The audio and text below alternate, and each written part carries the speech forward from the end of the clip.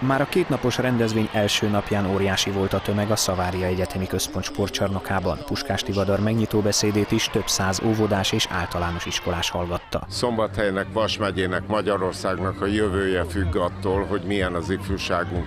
Edzett testben és lélekben egészséges, és hogyha sportol, akkor éri el azt, hogy ilyenek lesznek a fiataljaink. Idén a Szavária Egyetemi Központ területén összesen 35 sportág mutatkozott be a gyerekeknek. Ennél azonban sokkal lényegesebb, hogy az érdeklődők valamennyit ki is próbálhatták. Ehhez a terep ugye azért adott, mert nálunk az intézmény erre létesítményben is és szakmai háttérrel is megadatott.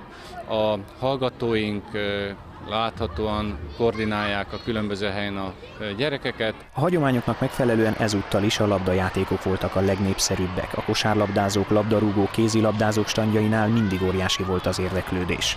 Meglepetésre azonban nagyon sokan próbálták ki a különféle táncokat is. Nagyon tetszik ez a rendezvény, mert sok sportágat lehet kipróbálni, és legjobban a tánc tetszik, mert, mert jó tartás és a labdarúgás.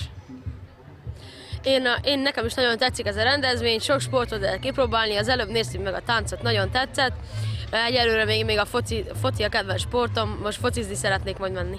A szombathelyi nagysportág választó rendezvényei szombaton folytatódnak, de reggel 9 és 13 óra között már nem a csoportosan érkező oktatási intézményeket, hanem a családokat várják.